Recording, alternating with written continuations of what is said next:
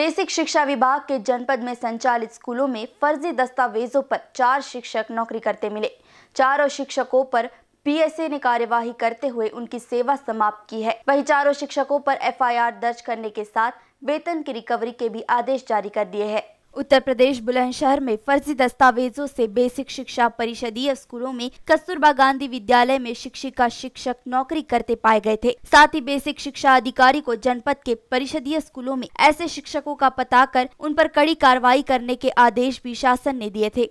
कुछ शिकायतें भी मिली थी कि जनपद में फर्जी शिक्षक दस्तावेजों पर कई शिक्षक नौकरी कर रहे हैं। पिछले दिनों लगातार बुलंदशहर सुर्खियों में रहा है। वजह थी। कस्तूरबा गांधी विद्यालयों में शिक्षिका फर्जी दस्तावेजों पर नौकरी करती पाई गई और एफआईआर होने के बावजूद भी आज तक उनका पता नहीं लगा।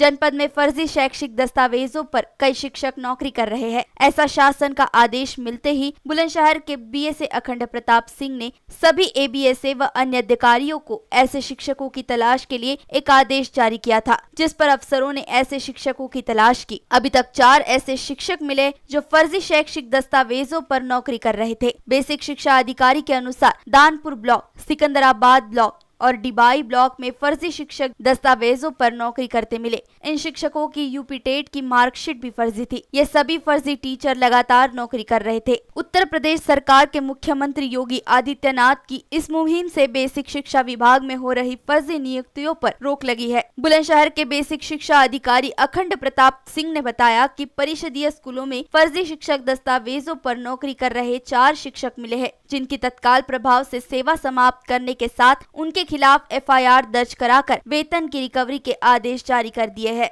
सभी भी ऐसे कई शिक्षक रडार पर है। जनपद में किसी ऐसे शिक्षक को नहीं बख्शा जाएगा जो फर्जी शैक्षिक दस्तावेजों पर नौकरी कर रहे हैं। फर्जी हैं, उन पर हम लोग भी गहनता से जो है जो है जाँच कर रहे हैं।